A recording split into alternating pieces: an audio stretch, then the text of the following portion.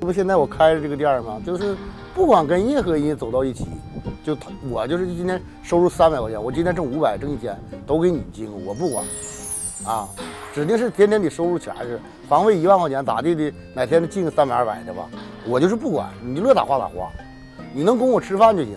哎，我就这个意思，哎，做饭呢我还会，洗衣裳我还会，我的摊儿你就不用管我，我的衣裳不用你洗，也不用你管我，哎，你把你自个捯饬好就行。既然你相信我了，但是我也让你的，让你相信我，我也做出让你相信的样子来呀。也不是说你今天了，你就是给我一百了，我给我儿子给我孙子也倒腾去了，你我不可能的，对不对？那说那样事儿干嘛呀？要不就别走了呗。你的意思就是说，即使大哥把钱交到你这儿，对你也是就是生活，俩人对生活对，，俩人生活完了就攒起来呀，或者是或就是说是，对，去了开销完了攒起来呀，就是溜达溜达呀，旅游旅游啊，完了然后了再留着养老啊。对，他也没有劳保，我也没有劳保，对不对？那不是看见点攒点钱吗？我也没有那些心眼儿，我挺单纯的，我没有那些复杂的心眼儿，说说的。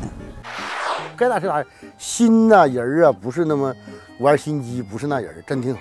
确实挺好。是啊嗯，大姐是绝对不会跟你就是说我藏心眼儿，对，偷摸我再攒点儿，不带的，不带，他不是那人，不是那人，对，很实在。挺实在。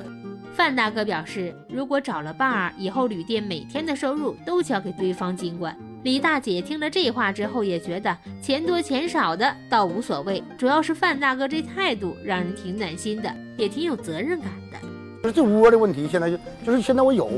我也我也我也我你搞那出租，也不能去过去，我得搁这块儿，必须得搁这块儿，这块儿离不了还人儿这玩意儿，这玩意儿，哎，就这么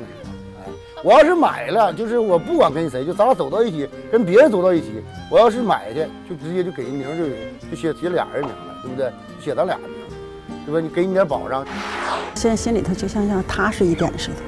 就是这个意思呗，他哈，是不是？嗯，你听着感觉咋样？听着挺踏实的，嗯，是一个踏实的人。我对他的评价还是说